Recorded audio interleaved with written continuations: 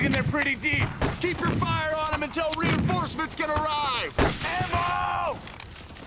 I got a fresh box for you, sirs! Oh! Oh!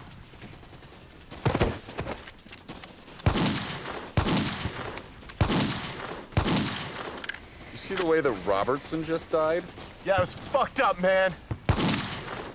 No, I mean like the theatrics. The way he was flailing his arms in the air like he was some sort of sacrificial hero. Yeah. I guess it was pretty over the top.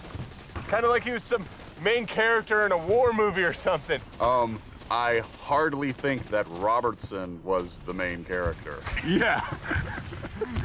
I mean, he's more like one of the guys in the background. Oh! Oh! Oh! Oh! Jeez. Yeah. I mean, that guy kind of did the same thing the other guy did. Yeah. Guess it was kind of like the pot calling the kettle black there, right? Yeah, totally. What a drama. queen. oh my god. Ooh. Is it bad? Pretty bad. Because it feels bad. I'm not hamming it up or anything, though. No, not at all. I don't even know how you're still talking. Okay, well, it's getting pretty dark now, so I'm just gonna lay down over here.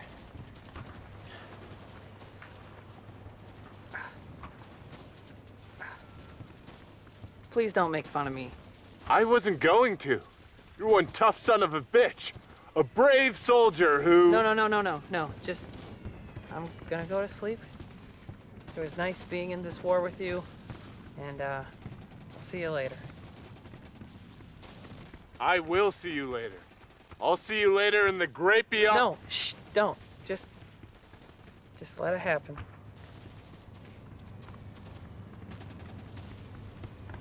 Please don't make fun of me. Thank you. War's done. Really? War's done. For reals? For real. News just came in. No more war.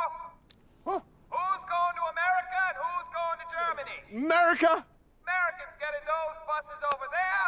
Germans get in the buses by the tents. Please leave your guns in the bucket by the buses and pick up a meal voucher. War's done.